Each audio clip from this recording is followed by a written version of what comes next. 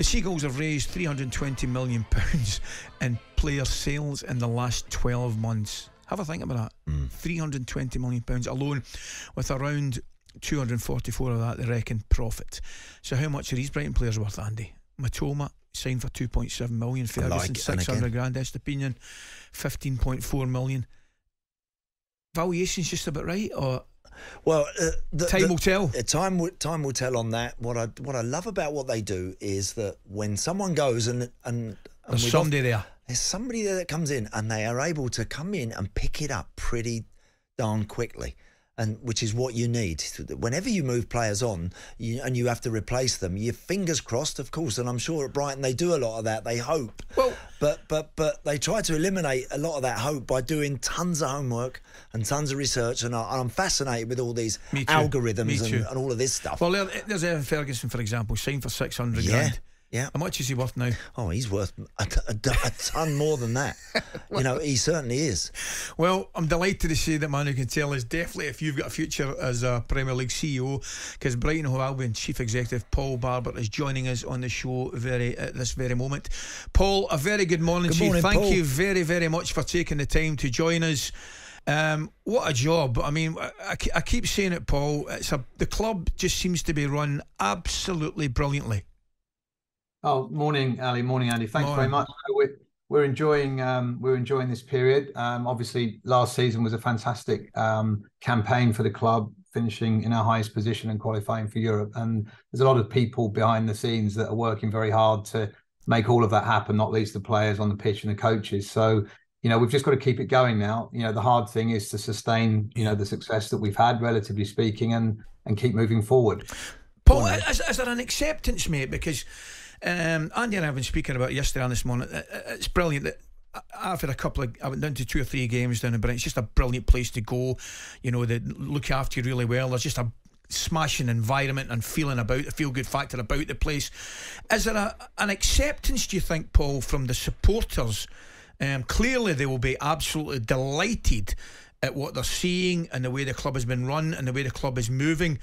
But do you get one or two mumps or moans about maybe wanting to hold on to players a little bit longer?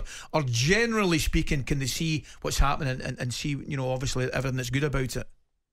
I think supporters will always moan about one Yeah, or two things. yeah. That's that's the nature of the beast. But I think overall, um, you know, the fans are really delighted with the progress of the club and and you know how things have gone. I mean, we're very fortunate to have a an owner and a chairman like Tony Bloom, who had a very clear vision uh, 12 years ago to to sort of put the club in the position it's in now. It's taken you know a lot of hard work, as I said, from a lot of people, but we're now beginning to see the fruits of the investment in our academy, uh, the investment in our recruitment processes, and obviously the progress we've made under successive coaches, and you know the football that we've been playing under Roberto, and before that Graham, and and let's not forget forget the work that Chris Hughton did before that. Yeah. Uh, you know, has been building to where we are now, and we're also, you know, not perfect. We, you know, we make mistakes. We'll get things wrong. You know, recruitment isn't a perfect pro- process in any business, let alone football.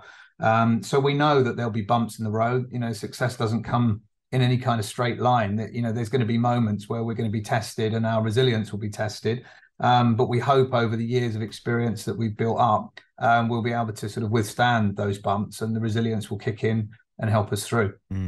Paul, we've seen Newcastle recently over the last um, last eighteen months. You know, new owners and and and a successful campaign last time around playing Champions League football. You guys, you do, what you do, you do it quite uniquely and you do it brilliantly. And and I think we're all we we all agree with that. However, what we must also say now that Brighton have to start now attacking those top five spots. How far? How how how far away from that are you realistically from being in a position you think to to you're getting it right off the field, you're getting it right on the field to you know largely, but how how soon do we think we can expect Brighton to be really pushing at the very top end? Well, I mean, we pushed as hard as we could last season, and I think we ended up nine points off of a of a Champions League place. But we we're we're realistic, Andy. We know we don't have the, the budgets that, that the big six or seven, as it is now, clubs have. We we know that we have to compete in a different way. We have to fish in different ponds, as we say. Um, and you know, part of our model is to try and find the players that others are either not looking for or can't see. And um, from that point of view, if we can do that, and then our coaches can develop them and our, our recruitment staff can get the deals over the line, um, then we've got a chance because we can bring in good players, we can develop them, we can accelerate their development through good loan program where we've got good people working on the player pathway, and then we get to a stage like Moises where you know clubs with with with bigger wealth than us will come along and, and and buy them, and then we've got to do it all over again, and and so the process has to repeat, and that's the biggest challenge. You know, as you go further up the table, obviously to improve your squad becomes that much harder because by definition you've got a good squad to mm-hmm. start with and, and then improving it is a is a smaller group of players than, than perhaps it was three years ago but we know that we understand that and um, you know we're very aware of, of the need to to keep doing what we're doing but as i said before it's not a perfect science there will be moments when you know we get things wrong and um, you know it, it is the nature of football that not every recruitment into a squad works out Paul, you, you touched on it, and obviously the, the, the job and the transformation in the club. Um, yourself and, and, and, and Tony Bloom since he's come to the club. Tell me, does, what, what would you say is, is Tony's expertise um, and is one of his strengths? You know, appointing. Does he let Does he let his staff get on with it? Obviously, he rules the roost and sees everything that's going on. What What would you say his main strengths are? I think his main strength really is, is having a very clear vision for where he wanted the club to get to and how he wanted the club to get there. And then what he does is he appoints people to, to deliver that vision. He doesn't get involved in the day to days. He's not involved in the direct negotiations with other clubs on the sale of players or the purchase of players. That's not what he does. He leaves that to us to get on with.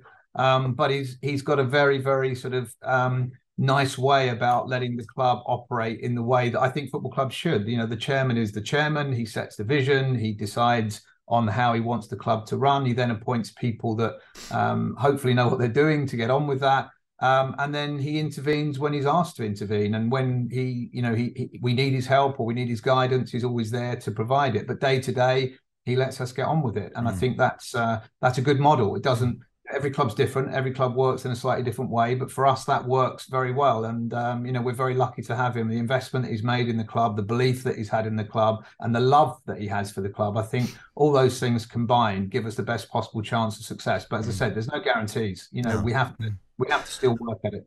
Paul, how surprised were you when when Moises Caicedo and obviously his, his his team around him when they decided not to go to Liverpool. When you got that offer of of we're we're we're, we're informed that it was around 111 million pounds, whatever it was, and then you heard that he's not going there. You must have been surprised at that, taken aback by that, and and and why why do you not why do you think he didn't want to go there? Um, well, I mean, first of all, Liverpool's fantastic football club, and and um, you know, for any footballer to have the chance to play at Liverpool at Anfield, you know, you would imagine that they they would be running up the uh, the M6 and M62, but um, it wasn't to be. Um, Moyes and his advisors decided, for, for, whatever reason, that London was their preferred uh, destination for a move, and and, and ultimately Chelsea. Um, and obviously, in that situation, we're in a in a slightly difficult position because we've negotiated a deal. We've spent many days um, working with Liverpool to to get a deal agreed, and they they couldn't have done any more. They they were superb, professional throughout, no doubt about that whatsoever. Um, but then you know it comes down to the player, and at that point we're very much out of the out of the loop because it's a discussion between the player and the, and, and Liverpool and, and then the agent and then ultimately they come to a decision. Mm. At the point that um, that it was clear that he wasn't going to Liverpool, then we have to go into a different mode because you know having negotiated you know a British record transfer, we, we have then got to do it again three mm. days later, um, which is unusual to say the least. Um, and and we did. And and you know we we we we we started working with Chelsea as soon as we realized that Liverpool were not able to proceed. Then obviously at that point we've got to protect our own interests and our interests are our player and making sure that we realize the value for that player that, that we were expecting.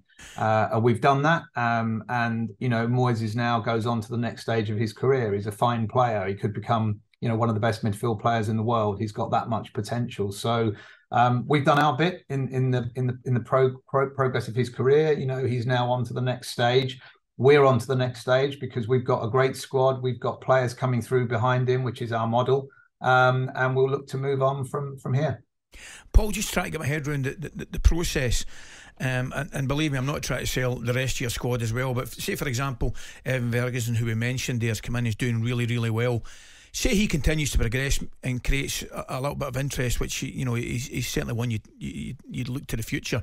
At what time, if somebody comes in and makes an offer? At what time do you all sit round the table? Does that is it a footballing decision initially, or does it immediately become a business decision?